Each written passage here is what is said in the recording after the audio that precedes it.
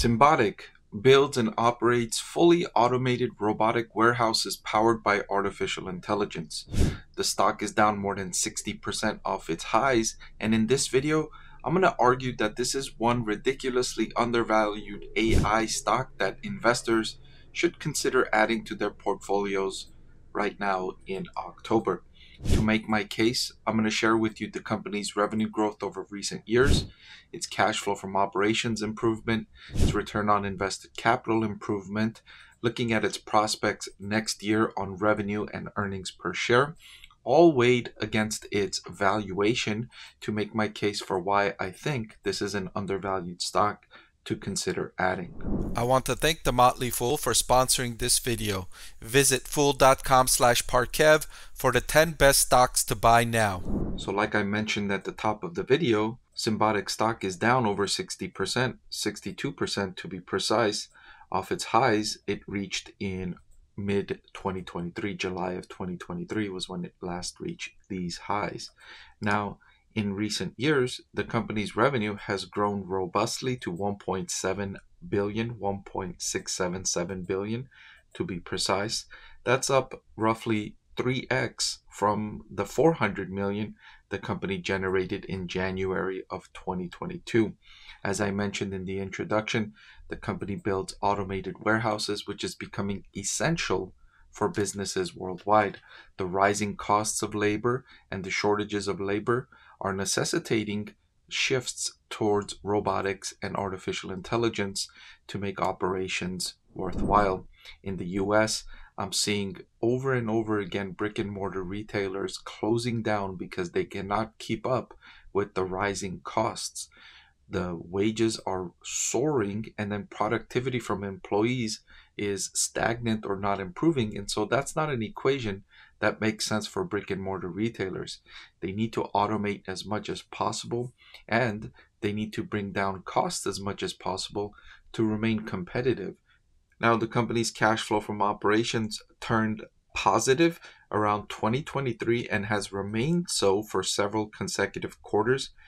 5.12% in the most recent trailing 12 month period. The cash flow from operations has been sustainably positive since early 2023. That means the business is now self sustaining. It doesn't need to go to investors to ask for more capital. Now, if it finds an opportune situation where it can go to investors to raise capital, it might do so, but it doesn't need to. It's not in a position where it needs to go to investors to ask for capital. And that's usually a huge turning point for businesses. It allows them flexibility, sustainability, and it allows them to withstand difficult situations because they don't need to go to investors at desperate moments in time and pay really high cost of capital, which then hinders its growth opportunities. So that's one great factor for Symbotic while it's still in growth mode, it's doing so while its cash flow is positive. Speaking of the company being in growth mode, the analysts on Wall Street that are following Symbotic stock, they expect the company will grow its revenue by 49% this year and then by another 36% next year. So the company's revenue on the top line expected to grow very robustly. 49 and 36% growth is excellent rates of growth. And this rate of growth now it might not be this robust for a long time but i suspect this company will grow for another decade or two. There's so many businesses that need to implement this technology that it's going to take a long time for Symbotic to serve all of these businesses. The good news for investors is that Symbotic has a long backlog, right? It, it's going to take years for Symbotic to fulfill on the contracts it's already signed. Businesses are waiting in line for Symbotic to be able to fully automate their systems. The challenge right now, the main constraint for Symbotic is to be able to get its technology and fulfill its service more effectively, faster, on a wider scale. That's the challenge for the company. Demand is there, they've got the orders. Now the challenge is being able to deliver on those orders, to implement and install those systems more efficiently, more effectively, and more broadly. And that will unlock the next layer of growth for Symbotic longer term. Now, the company's operating profit margin and return on invested capital are still negative, but they're moving in the right direction really quickly, especially the return on invested capital. You can see the sharp rise in the orange here from negative 80% now up to negative 8.74%. At this rate, it will be very soon where Symbotic's return on invested capital will turn positive. Similar story with its operating profit margin. While it's negative 8.9%, the number is not a good number, but the trend is excellent, improving from negative 50% in 2022 all the way up to negative 9%. And given the company's expected revenue growth expectations, I wouldn't be surprised if the operating profit margin improves next year.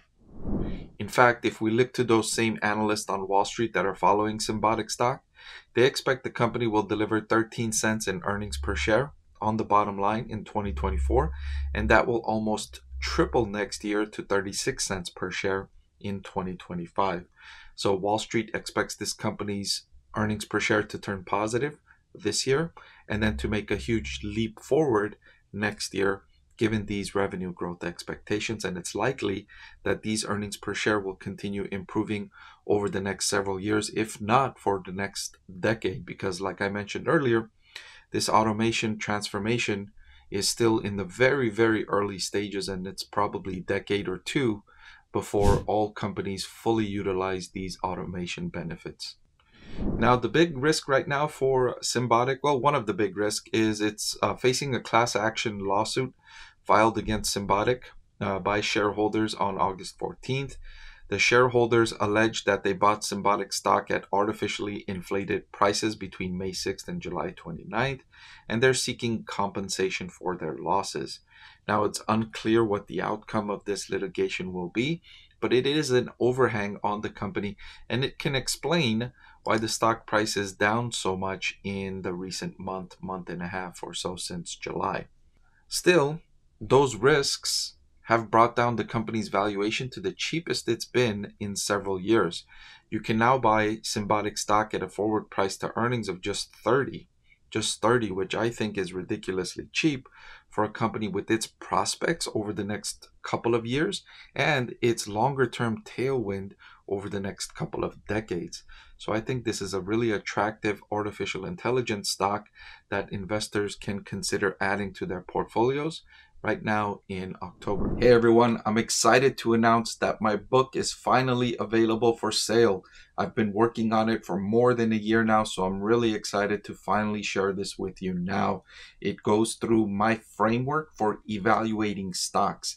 Some of you often ask why I like this stock or why I like the other stock, and this framework provides you the things that I look at when I'm evaluating stocks. I've added the link in the description below.